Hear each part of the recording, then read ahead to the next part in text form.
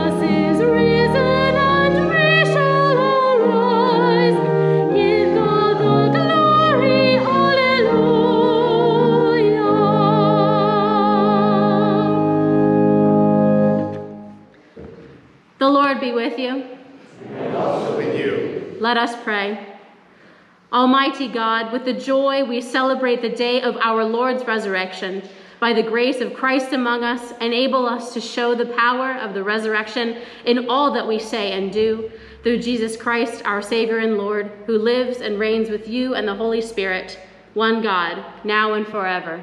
Amen. Amen.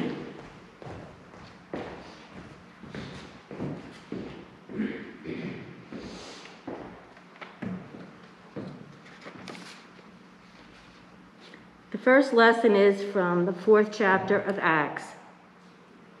Now, the whole group of those who believed were of one heart and soul, and no one claimed private ownership of any possessions, but everything they owned was held in common. With great power, the apostles gave their testimony to the resurrection of the Lord Jesus, and great grace was upon them all.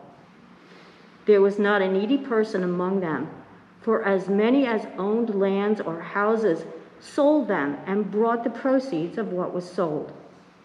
They laid it at the apostles' feet, and it was distributed to each as any had need. Word of God, word of life. Thanks be to God.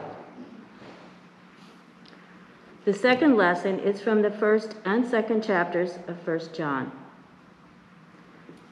We declare to you that was what was from the beginning, what we have heard, what we have seen with our eyes, what we have looked at and touched with our hands concerning the word of life. This life was revealed, and we have seen it and testify to it, and declare to you the eternal life that was with the Father and was revealed to us. We declare to you what we have seen and heard, so that you may also have fellowship with us. And truly, our fellowship is with the Father and with the Son, Jesus Christ. We are writing these things so that our joy may be complete. This is the message we have heard from him and proclaimed to you that God is light, and in him there is no darkness at all. If we say that we have fellowship with him while we are walking in darkness, we lie and do not do what is true. But if we walk in the light as he himself is in the light, we have fellowship with one another and the blood of Jesus, his Son, cleanses us from all sin. If we say that we have no sin, we deceive ourselves, and the truth is not in us. If we confess our sins, he who is faithful and just will forgive us our sins and cleanse us from all unrighteousness. If we say that we have not sinned, we make him a liar, and his word is not in us. My little children, I am writing these things to you so that you may not sin. But if anyone does sin, we have an advocate with the Father, Jesus Christ, the righteous, and he is the atoning sacrifice for our sins, and not for ours only, but also for the sins of the whole world. Word of God, word of life. Thanks be to God.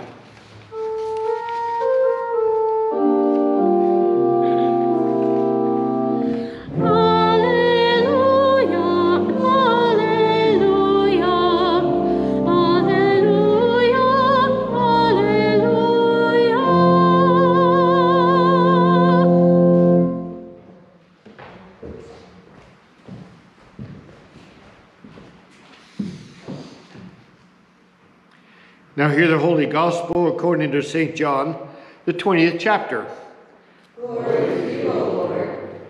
when it was evening on that day, the first day of the week, and the doors of the house where the disciples had met were locked for fear of the Jews, Jesus came and stood among them and said, Peace be with you. And after he said this, he showed them his hands and his side. And the disciples rejoiced when they saw the Lord. Jesus said to them again, Peace be with you. As the Father has sent me, so I send you. And when he had said this, he breathed on them and said, Receive the Holy Spirit. If you forgive the sins of any, they are forgiven. If you retain the sins of any, they are retained. But Thomas, who was called the twin, one of the twelve, was not with them when Jesus came. So the other disciples told him, We have seen the Lord. But he said to them, Unless I see the mark of the nails in his hands and put my finger in the mark of the nails and my hand in his side, I will not believe. A week later, when Jesus, when the disciples were again in the house and Thomas was with them, although the doors were shut, Jesus came and stood among them and said, Peace be with you.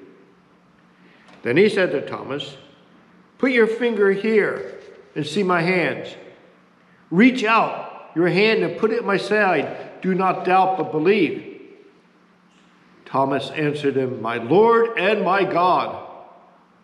Jesus said to him, Have you believed because you have seen me? Blessed are those who have not seen and yet have come to believe. Now, Jesus did many other signs in the presence of his disciples, which are not written in this book, but these are written so that you may come to believe that Jesus is the Messiah, the Son of God, and that through believing you may have life in his name. This is the gospel of the Lord. Praise, Praise to you, Lord Christ.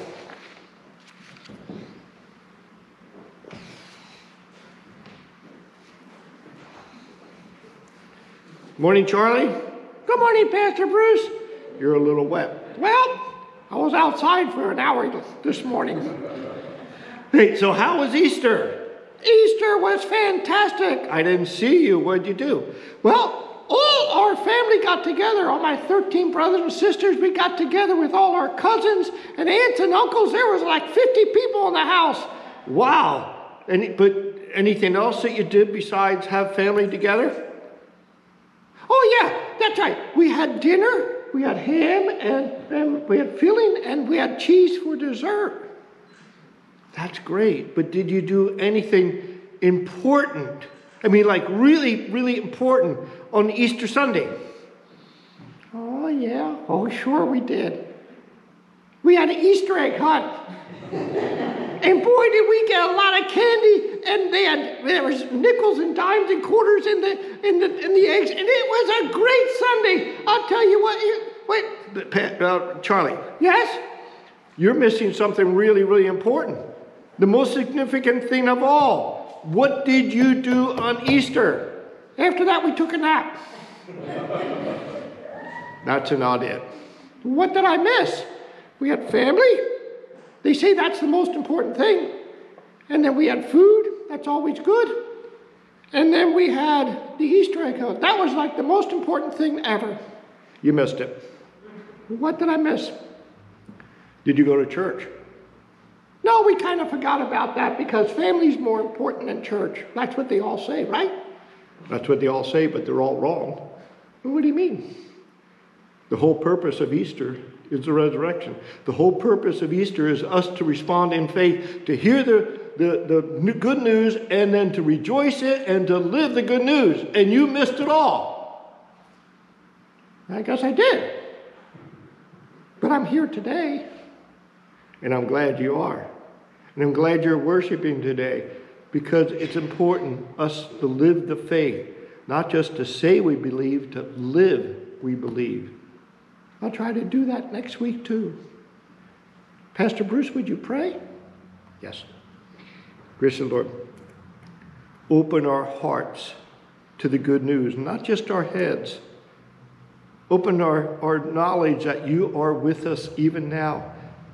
Let us be as Thomas, that we can say, My Lord and my God, today and tomorrow. In Jesus' name. Amen. See you later. Bye.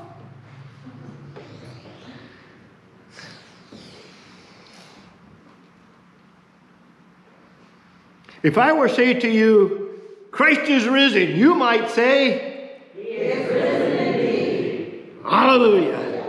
You got it. How do you know Christ is risen from the dead? Are you certain he is risen from the grave? How do you know? I'll never convince you of that because I cannot.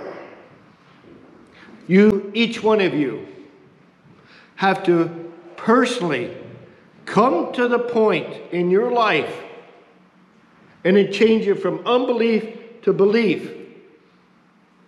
Not have I been when you were a little child or halfway through life or just last year. You have to personally come to the place in your life where you can say, Christ is risen, he is risen indeed, hallelujah.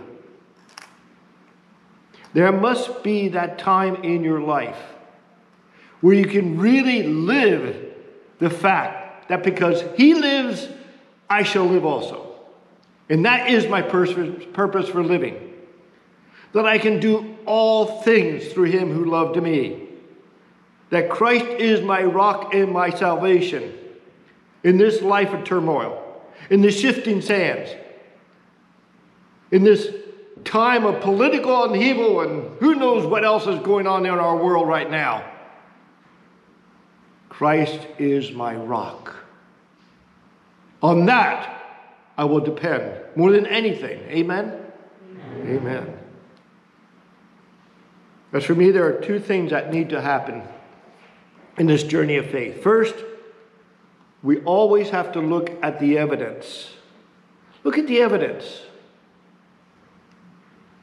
In John 20, we heard it last week. On the first day of the week, Mary came to the tomb, and while it was still dark, she carried spices. Why? She carried spices to anoint the dead Jesus. She did not believe the words that Jesus had told her and the disciples so many times that I shall die and the third day I shall rise again. But she was still in a state of unbelief. But she sees this empty tomb. And so she runs to the disciples, to Peter and John, and they run back with her, and all three of them look into that empty tomb. But do they believe? No. They just see an empty tomb. Even with the, the angel saying he's not here, they still are in a state of unbelief. And so they go away. And the disciples leave. And Mary stays and lingers in the garden, not believing. And she's crying. Why is she crying? Because they took the body away, they stole the body. And it's here that the risen Christ comes to meet her, meets her in her grief. And he does that for you and me. He meets us where we are, in our grief or in our joy. He meets you where you are, in your belief or in your unbelief. And what does that say about the Christ coming to us every day? And when she recognizes Jesus, she cries out, Rabboni, teacher! The evidence of the resurrection. And she runs back to the disciples and replays, she doesn't proclaim, I have seen the teacher, she has seen the Lord. Now the message of salvation has gone from unbelief to belief, from Mary's head to her heart, but not for the rest of them. The two disciples leave the upper room and they start walking toward Emmaus. Now, they have heard the testimony of the empty tomb. They have heard the testimony of Mary. I have seen the Lord. But they keep walking away, walking away from the resurrection. And it's on that road that the risen Lord meets them. And he talks to them. And he has conversation and he has meal with them. And it's during the meal that they recognize the risen Lord Jesus Christ. And then Jesus disappears. And the words that they say are very important. Listen to the account of Luke 24. They say, Were our hearts not burning within us while he was speaking to us?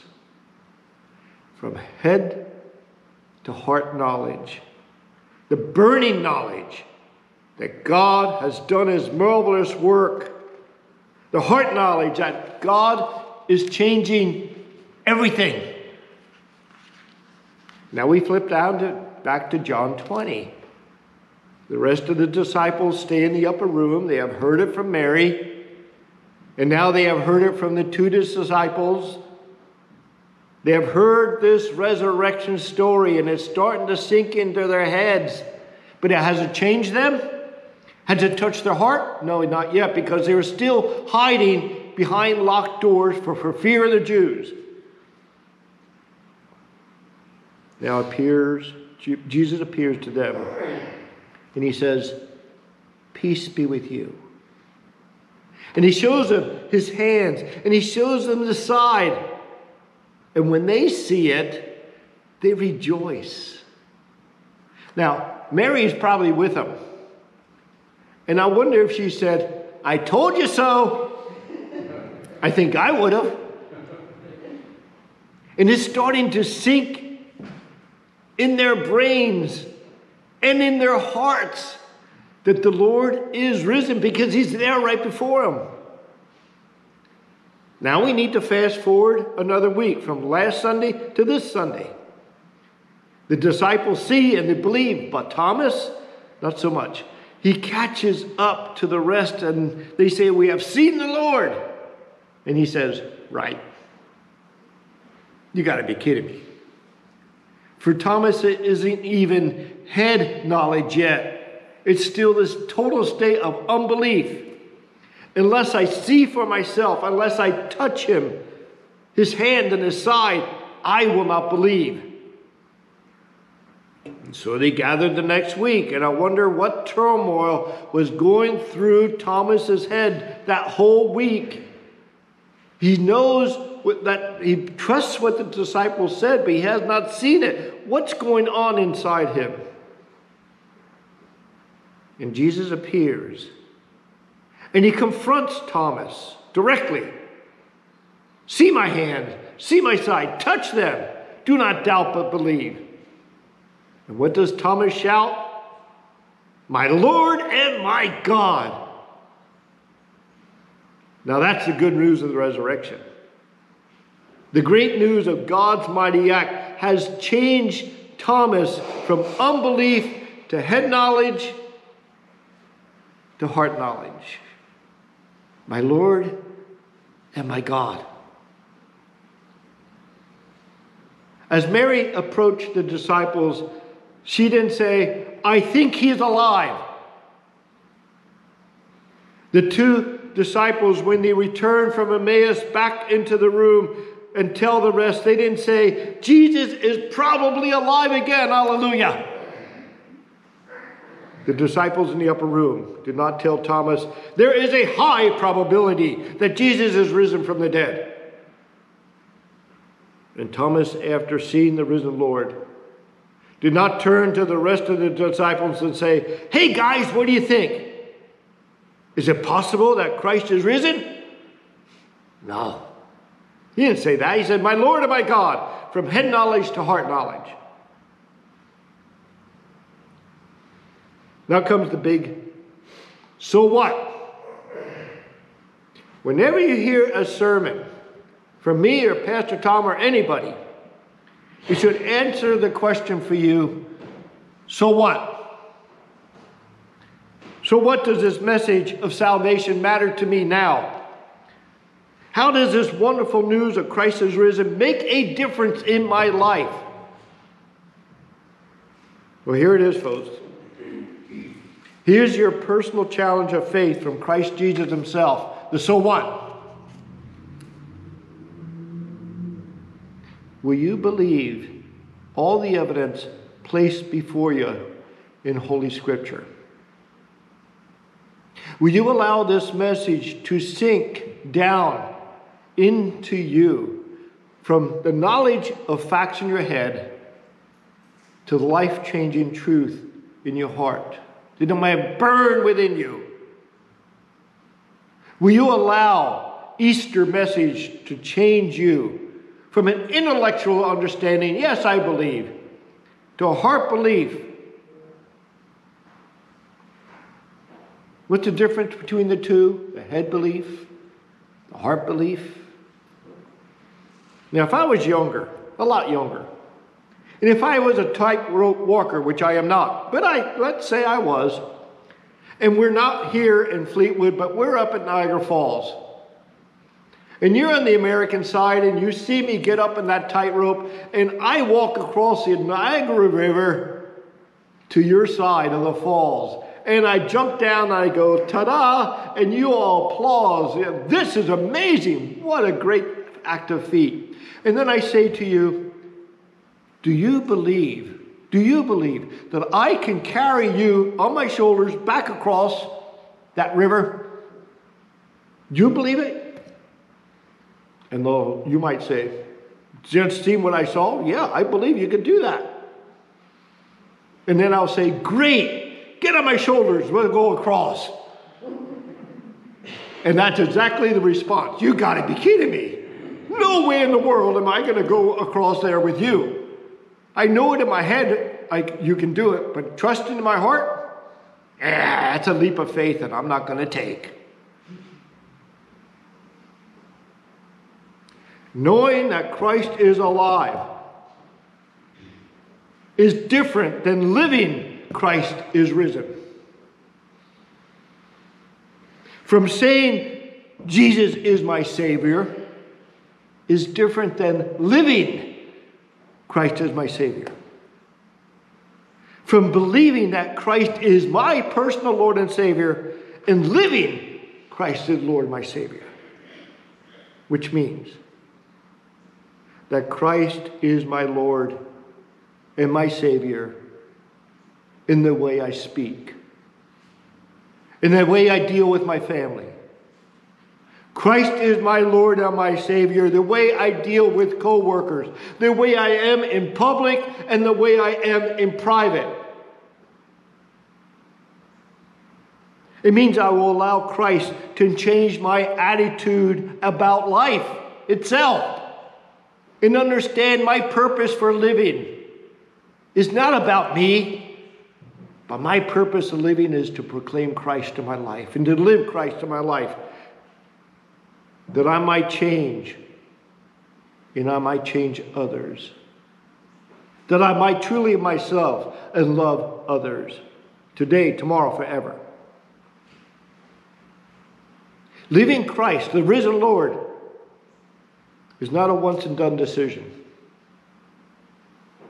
It's a daily event. It's a daily decision to allow my belief to turn into action. That's head knowledge to heart knowledge. It's your decision not only to believe, but to live a life for Christ. So I end this sermon as I started. If I would say to you, Christ is risen, you would say, he is risen indeed. Hallelujah. Let those words change your heart and change your life. Amen. Amen. Now, having heard God's word for us, let us confess our faith by use of the Apostles' Creed. I believe in God, the Father Almighty, creator of heaven and earth. I believe in Jesus Christ, his only Son, our Lord he was conceived by the power of the Holy Spirit and born of the Virgin Mary. He suffered under Pontius Pilate, was crucified, died, and was buried. He ascended into hell. On the third day he rose again. He ascended into heaven and is seated at the right hand of the Father. And he will come again to judge the living and the dead. I believe in the Holy Spirit, the Holy Catholic Church, the forgiveness of sins the resurrection of the body, and the life everlasting. Amen. Do I do the prayers, or do you do?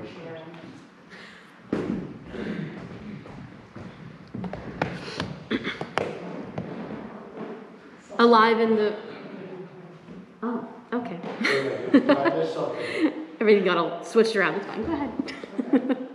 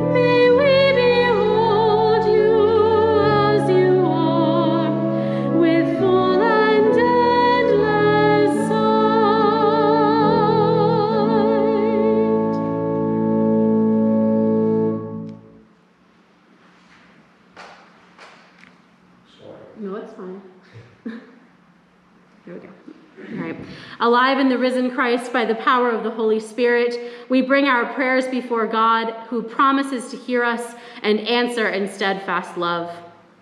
You shower your church with grace, O God.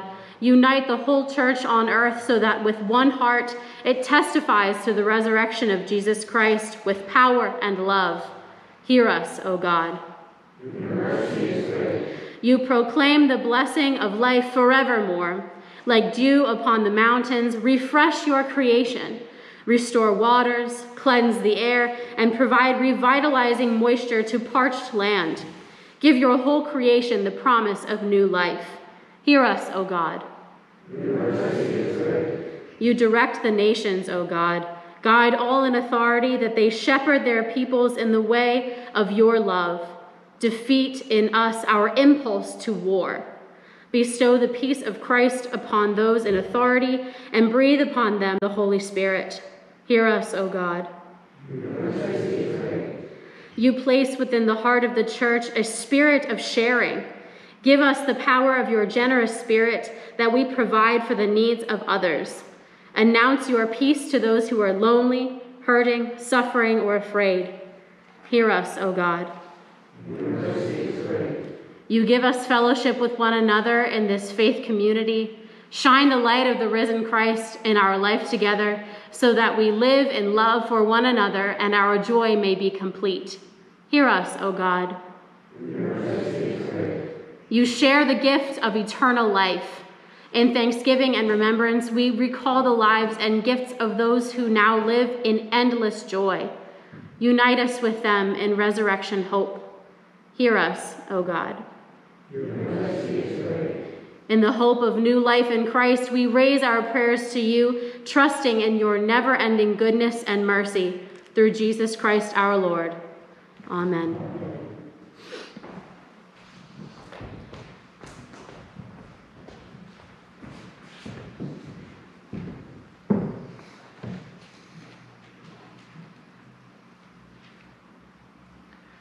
The offertory prayer. God of love, you call us beloved children and welcome us to your table. Receive our lives and give gifts we offer. Abide with us and send us in service to a suffering world for the sake of your beloved child, Jesus Christ our Lord. Amen. The Lord be with you.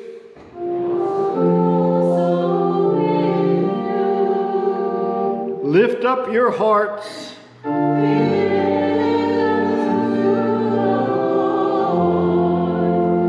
Let us give thanks to the Lord our God.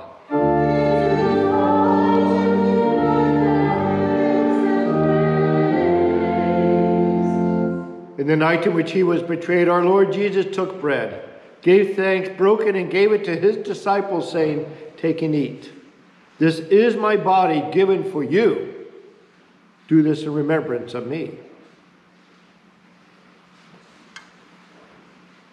Again, after supper, he took the cup, gave thanks, and gave it for all to drink, saying, This cup is the new covenant in my blood, shed for you and for all people for the forgiveness of sins. Do this for the remembrance of me. Lord, remember us in your kingdom and teach us to pray. Our Father, who art in heaven, hallowed be thy name. Thy kingdom come, thy will be done, on earth as it is in heaven. Give us this day our daily bread, and forgive us our trespasses, as we forgive those who trespass against us. And lead us not into temptation, but deliver us from evil. For thine is the kingdom, and the power, and the glory, forever and ever. Amen. If you take your individual cups, remove the plastic if possible. I always have to do mine before service because it takes me about 10 minutes to figure it out. For those who are worshiping at home, we invite you to pause and go to spread and wine or bread and something to drink and partake as well.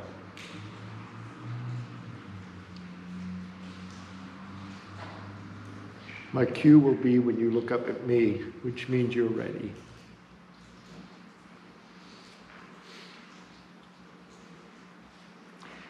Take and eat the body of Christ given for you.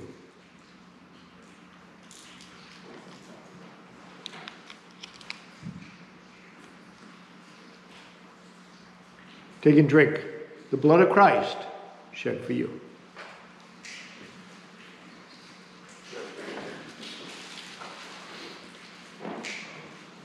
Receive the blessing. The body and blood of our Lord Jesus Christ strengthen you and keep you in his grace. Amen. Let us pray. Wellspring of joy, through this meal you have put gladness in our hearts, satisfy the hunger still around us, and send us as joyful witnesses that your love may bring joy to the hearts of all people through Jesus Christ our Lord. Amen. May our glorious God grant you a spirit of wisdom to know and to love the risen Lord Jesus. God of life, Father, Son, and Holy Spirit, bless you now and forever. Amen.